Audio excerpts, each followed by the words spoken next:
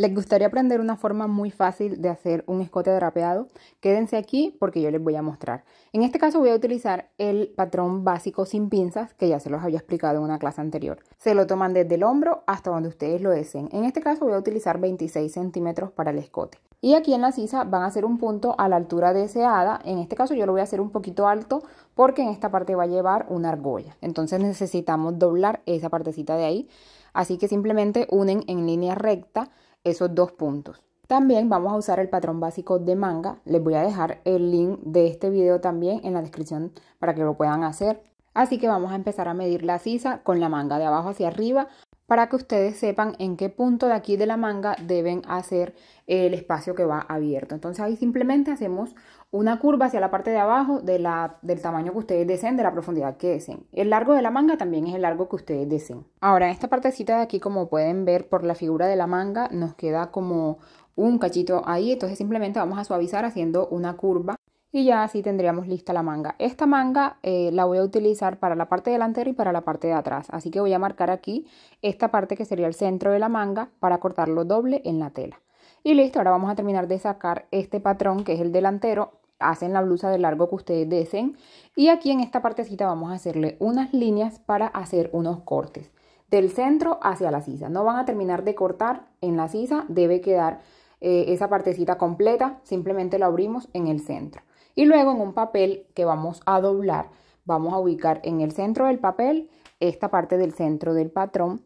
Y como pueden ver, al abrir estas partecitas nos queda como un poquito afuera. Entonces simplemente abrimos un poquito el patrón, pero aquí en la parte de abajo lo dejan igual. Solo en la parte de arriba, así como si fuera un ángulo, lo van a abrir un poquito, como un centímetro, para que las partecitas de arriba puedan quedar ahí justo en el doblez. La idea es que la última parte, el último corte que hicimos, quede totalmente recto, así como les acabo de mostrar. Y los demás simplemente pues los ubican que queden más o menos a la misma distancia.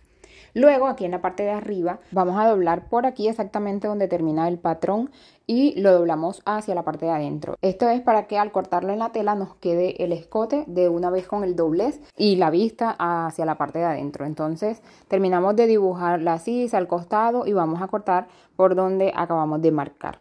Ya luego cuando ustedes le quiten los alfileres a esta parte, miren que al abrir el nuevo patrón que tenemos aquí nos queda de esta forma. Esto de acá, la otra parte sería como la vista que es la que va a forrar la partecita de arriba de la blusa. Entonces nos queda de esta forma. Ya cuando esta parte busque su lugar, miren que aquí en el escote se va a formar el drapeado que necesitamos.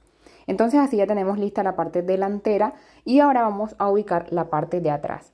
Para la parte de atrás vamos a utilizar la sisa de aquí de la manga para que nos quede del mismo tamaño. Recuerden que la manga la vamos a utilizar para las dos partes, para la parte delantera y para la parte de atrás. Y aquí en el escote ustedes deciden si lo quieren recto o si lo quieren un poco ovalado. Y para el largo de la blusa aquí en la parte de atrás se pueden ayudar con la parte delantera. Ubican los costados y aquí les muestra hasta dónde debe llegar la blusa. Y eso sería todo para la parte de atrás. Entonces aquí tenemos la parte de atrás, tenemos la parte delantera y la manga. En este caso, cuando ustedes vayan a coser la manga, les voy a poner aquí en esta partecita de arriba una cinta para las que le quieran poner la argolla que lleva el modelo que estamos haciendo.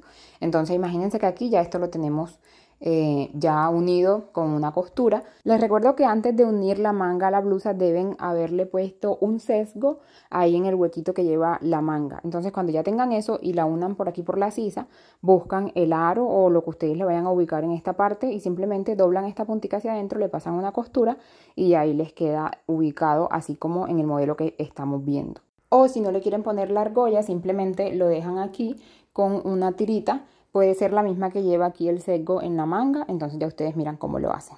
Así que si les ha gustado este video, no olviden darle like y suscribirse a mi canal.